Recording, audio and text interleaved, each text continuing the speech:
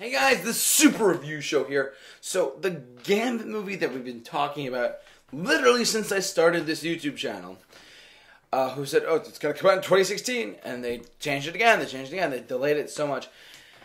Now the producers have come out and said Gambit movie is to eventually happen. This movie is not going to happen, guys. I I don't want to say that, but because I want to see a Gambit movie, I want to see Channing Tatum as this character because he's been like, I want to do it, I want to do it, I want to do it, I want to do it if you've delayed this since 2015, 2014, 2015, whenever, if you've delayed this in the existence of a YouTube channel, that's to me that's ridiculous. Cause like, why didn't you let this thing happen yet?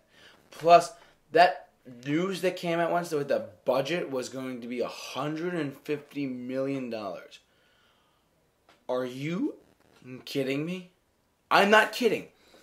If they make this movie the budget had literally should be forty million dollars or less because the reason everyone always asks me, people always come up to me and sometimes like, hey, why the hell is my ticket so expensive? I've seen my friends post post stuff on you know uh, over social media. They're like, oh, why is this IMAX ticket eighteen dollars? And I'm like, look, it's not the it's not the theater, it's the studio.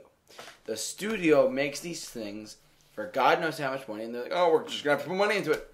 Look, they have to understand what's called budget filmmaking.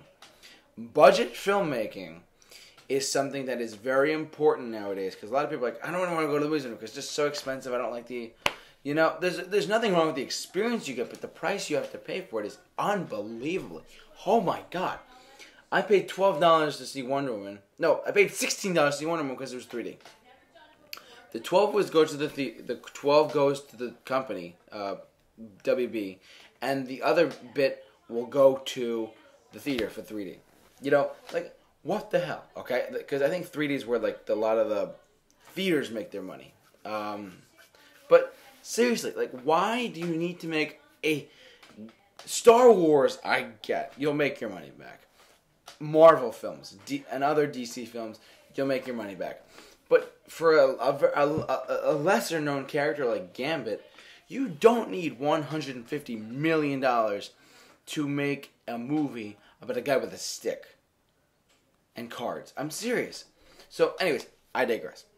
Seriously, though, I think. I know I said it won't happen. I think it can happen. Just make it soon, though, because everyone's losing their interest very quickly. Because they announced this that Channing Tatum wants to do it, and Lauren Shuler Donner, who's been a producer of all the X Men films, is going to produce it in 2014. They announced that, or 2013, somewhere around there.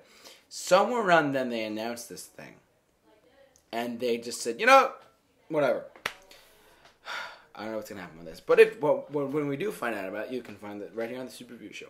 So, but listen, thank you very much for watching this video. If you like what you see here, please subscribe for more. Like us on Facebook, follow us on Twitter. We do a lot of posts on Facebook and Twitter nowadays. Please, please follow us in there. And if you like what you see here, feel free to subscribe for more. Thank you very much, guys, and for the Super Review Show, J-Man, off to work here.